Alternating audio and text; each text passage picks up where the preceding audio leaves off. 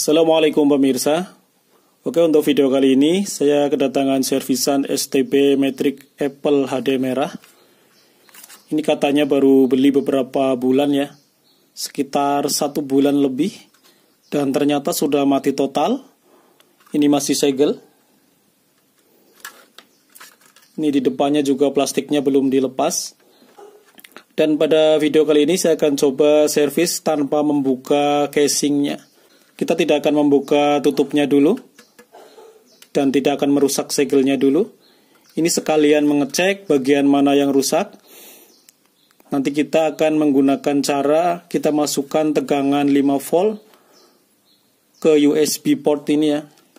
Ini adalah port USB-nya. Ini karena di sini masih utuh. Kita lewat belakang saja. Sebenarnya sama saja untuk belakang dan depan. Karena untuk power supply utama dari STB Matrix ini adalah 5 volt dan itu terhubung ke USB portnya ya. Jadi untuk mengecek apakah bagian power supply-nya yang rusak atau mesin STB-nya, cukup kita gunakan USB seperti ini. Nanti kita colokin di port USB dan saya menggunakan MBR ini atau bisa juga dengan menggunakan adaptor ya. Saya tune di 5,1 volt untuk ampernya saya gedein Oke kita tes dulu ya, kita colokin STB-nya, apakah benar mati total. Sudah kita colokin. Dan ini mati total ya. Ini sekalian kita hubungkan ke TV-nya. Kita kasih antena juga. Tidak ada reaksi sama sekali untuk STB-nya memang mati total. Oke kita cabut dulu stekernya. Dan selanjutnya langsung kita gunakan USB ini dengan tegangan 5,1 volt dari adaptor atau power supply saya ini. Dan ada juga yang menggunakan charger HP karena sama-sama 5 volt ya untuk tegangan kerjanya. Namun untuk menggunakan charger HP saya kira tidak efektif dan tidak saya anjurkan karena tidak semua charger HP memiliki kualitas yang bagus.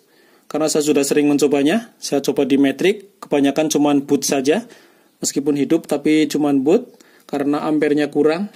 Namun jika kita gunakan adaptor yang sudah valid atau tegangannya sudah stabil dan kuat, maka akan langsung hidup. Oke, kita colokin langsung.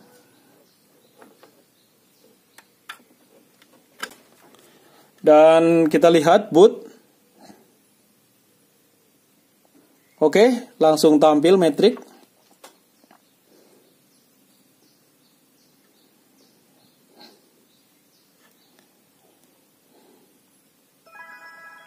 Dan sepertinya untuk mesinnya ini tidak masalah ya. Yang rusak bisa dipastikan adalah area power supply 5 voltnya.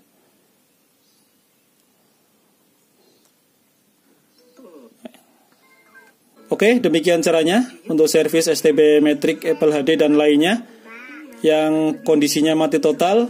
Setelah kita colokin dengan jack USB, bisa hidup.